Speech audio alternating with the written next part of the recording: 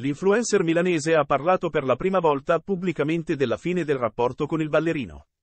Nelle scorse ore Tommaso Zorzi, giovane creator ed influencer milanese, seguito da oltre un milione di followers, vincitore del Grande Fratello VIP 5 e ancor prima noto al pubblico per la sua partecipazione a Riccanza, ha reso partecipi i suoi fan delle novità che lo coinvolgeranno nei prossimi mesi. Tramite alcune Instagram Stories, Zorzi ha rivelato che questo per lui è stato e sarà un anno di cambiamenti sia dal punto personale, ma soprattutto da quello professionale.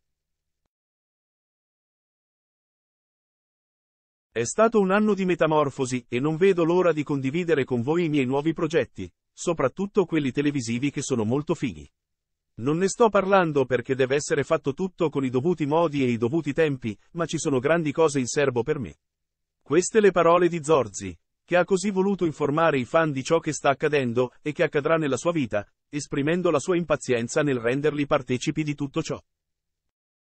A proposito delle sue periodiche assenze dai social e in particolare dal mondo della televisione, Zorzi ha approfittato anche per rispondere a tutte le domande che gli vengono poste a riguardo. Ho letto tutto sul mio futuro lavorativo. Volevo dire che c'è chi questo lavoro lo prende sul serio e si riserva di non fare nulla per dei periodi, per capire quello che si vuole fare nella vita. Non per forza bisogna avere quella bulimia televisiva di esserci a tutti i costi.